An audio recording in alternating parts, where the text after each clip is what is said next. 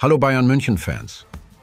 Bevor wir anfangen, vergesst nicht, euren Like dazulassen und dieses Video bis zum Ende zu schauen, denn wir haben exklusive Informationen für euch.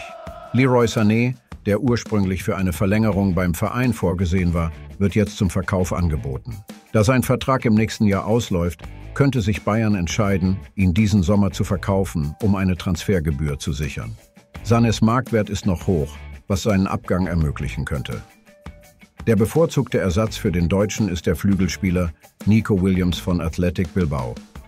Einige Bayern-Funktionäre haben Bedenken hinsichtlich Sanés Teilnahme an der Europameisterschaft aufgrund seiner körperlichen Verfassung geäußert. Diese Faktoren könnten die endgültige Entscheidung über die Zukunft des Spielers beim Verein beeinflussen. Sollte Sané verkauft werden, könnte Bayern Nico Williams als Verstärkung in Betracht ziehen. Die Dynamik des Transfermarktes wird in diesem Prozess entscheidend sein. Mit dem möglichen Abgang von Sané, zusammen mit Serge Gnabry und Kingsley Coman, die zum Verkauf stehen, könnte Bayern eine Umstrukturierung im Flügelbereich durchlaufen.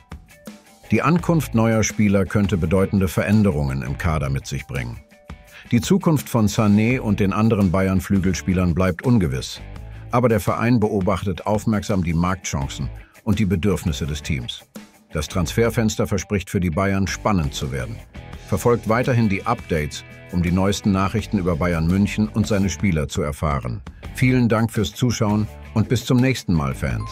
Lasst uns gemeinsam auf dem Spielfeld weitere Erfolge anstreben.